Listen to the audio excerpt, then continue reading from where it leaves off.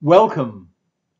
NOAA has just released its January of 2023 Global Climate Update, and this video is a summary of that report. Well, let's start with an overview of what's going on around the world.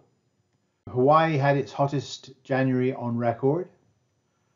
North America had its fifth hottest January on record. South America its 20th. Europe was about average temperature, just slightly above. Asia was about average temperature, but slightly below. Africa had its sixth hottest January on record, and Oceania was slightly above average. We had wetter than average weather in the west coast of the United States, in Europe, and in New Zealand. Well, let's see how these temperatures are distributed around the globe. This is a percentiles map which shows record highs and record lows. Record lows are indicated by dark blue, and there's a few pixels like that in the Antarctic region. But most of the planet is covered with much warmer than average or record high uh, pixels. And this indicates that the Earth is still warming. Now, there are some cold patches which are interesting. There's one off the east coast of Greenland. It's been there for quite some time, it's quite persistent. Siberia and northern China seem to be cooler than average. The area around northern India, Afghanistan, and Iraq and Iran seem to be colder than average. There's a large area just north of Antarctica in the Pacific Ocean that is quite cooler than average. But the most important feature here for global climate is this one here in the eastern Pacific. If you recall previous maps like this, this area was blue. It seems to be that La Nina has weakened significantly and most of the blue area has gone away and it's now sort of average temperatures. So we're expecting La Nina to disperse over the next few months and we'll get ENSO neutral conditions or perhaps even an El Nino later in the year. Well, let's take a look at the temperature plot itself. The Average global temperature was the sixth warmest on record. As you can see here, we've had a large number of fairly high years in the last uh, decade or so. The only one that comes anywhere close to the last few years is 2005. But there seems to be a great deal of variability in these data. And that's mainly due to the instances of El Nino, shown here with these red arrows, or volcanic activity uh, this is 1992. There's a big dip in global temperatures. Or La Ninas, which also cause a dip in uh, global temperatures. So this adds to our variability, but it doesn't actually mean that the global temperatures are changing in any significant way. So let's see if we can unpack that.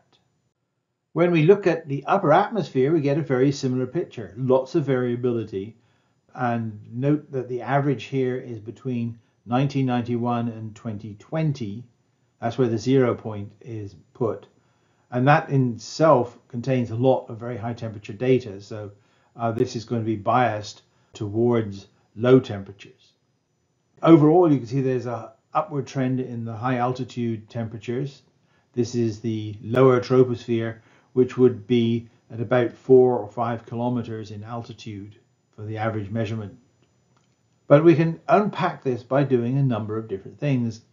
And one of them is to remove the variability from the El Nino La Nina cycle. And we could do that by taking the Southern Oscillation Index for the current time and finding the temperature for uh, previous times when we had a very similar SOI. And this is what I've done here, and I've plotted the temperature over the last 70 years that way. And you can see there's a very clear upward trend in temperatures with very little variability in there. I have not removed uh, though volcanic activity, so some of the high and low points might be associated with that. The temperatures have been going upwards at a, with a rate of 0.16 degrees centigrade per decade. We can also take a look at the amount of ice and snow coverage the northern hemisphere has. There's not very much in the south, so it's not really worth looking at. But you'll see that overall there seems to be a trend of about 0.21% per decade increase in ice and snow. However, the last six years are all well below average. We can also look at the distribution of precipitation around the globe, and you can see that there are areas that are prone to flooding and there are areas prone to drought. And I've shown some of those areas to the side here of those sorts of events that have occurred just in January. But if you look at the United States, there's a swathe of high precipitation from the southwest all the way up through the northeast. But north of that, in the northern states and in southern Canada, and also in Mexico and Florida, there seems to be a fairly significant drought going on. Similarly, in Europe, most of Europe seems to have had much above average rainfall, but the southern countries, Spain and southern France, uh, and then off into the Middle East, seem to have major droughts. People seem to be wondering why there's so much snow in the north at the moment. And the problem is, is that the Great Lakes have very little ice cover. So there's lots of water there, lots of warm water there can fuel these storms as they come through and add snow to them. The Great Lakes at the moment have about a 7% ice coverage. It's normally around about 40%. When the lakes are completely covered, there is no lake effect snow. Well, what about sea ice? If you look at the northern hemisphere, this is primarily the Arctic, you can see there's a strong downward trend and most of the last 20 years have been well below average. If you look at the southern hemisphere, this is the Antarctic, there is a downward trend, and this is the first time it's actually shown a downward trend. And that's because the last seven years have all been below average. Put all this together, and you get a loss of sea ice globally of nearly half a million square kilometers per decade. As I stated earlier, La Nina seems to be weakening. This was a much larger and more intense patch of blue when we looked at this chart last time around. And it's expected to weaken yet further in the next month or two and go to ENSO neutral conditions in April or May. And we may even swing over to El Nino by the end of the year. That has major consequences for the weather in the United States. At the moment, it seems to be that the trend will have warmer temperatures in the south and up the eastern seaboard, while below average temperatures in the northwest. As far as precipitation is concerned, it'll be relatively dry in the southern states and above normal in the northern states. So what conclusions can we draw from all of this?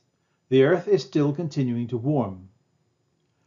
Sea ice is losing area at a rate of about half a million square kilometers per decade.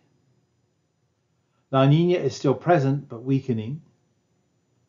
And extreme weather uh, conditions, floods and droughts, are affecting the Earth globally.